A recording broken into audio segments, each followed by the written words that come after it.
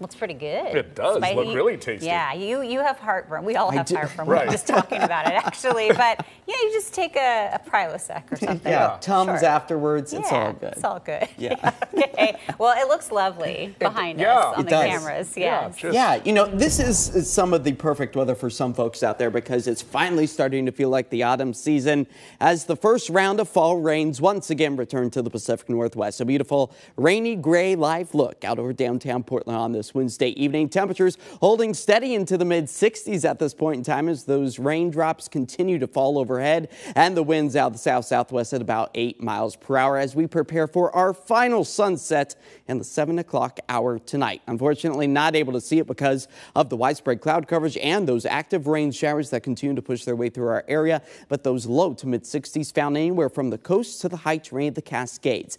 That, folks, is nearly a 30 degree temperature drop compared to our high of 94 just this time yesterday. So a big shock to the system here across much of the Pacific Northwest, but finally starting to feel like the autumn season as the rain showers are a welcome sight. Those yellows and oranges and even some reds, a good indication of the heaviest of rain that is currently falling through the Willamette Valley. As we zoom into the Portland, Vancouver metro area, you can see that some of the heaviest rounds of rain really kind of pushing their way further off towards the east and starting to exit Washington County. A live look, though, out towards Mount Hood. That's where we're picking up on just a light little dusting of snow all above about 5,800 feet. And this is going to be a very short window of opportunity to see those winter-like snowflakes falling once again for this evening into the early morning hours tomorrow before it retreats back up above 7,000 feet. Our skies dry out and we start to warm things back up again. Let's time it out with our future cast. There you go, the clearing conditions for the rest of tonight. That's going to allow for the very minimal amount of heat that we've built up in the atmosphere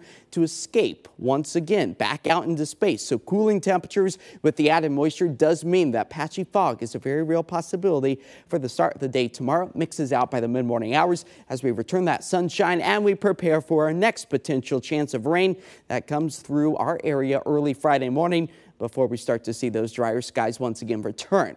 Our forecasted rain accumulation, in addition to what we've already picked up on, close to about tenth to a quarter of an inch for the I-5 corridor and much of our coastal spots. Now, we've got that hurricane spinning over the Gulf of Mexico right now, potentially turning into a Category 4 storm.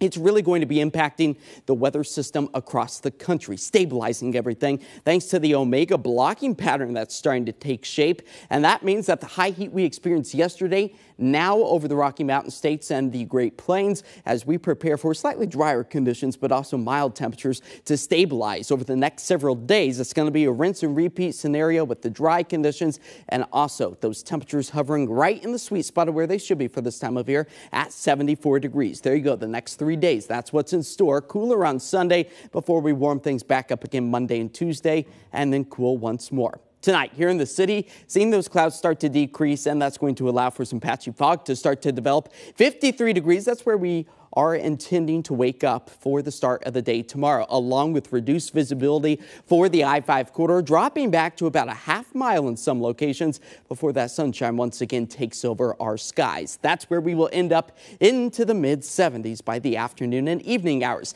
Now keep a close eye to the eastern sky. This news coming in from OMSI, where we could potentially see comet C 2023A3. Yeah, it's a mouthful. You'll look to the eastern sky this weekend where you could potentially see the comet without a telescope.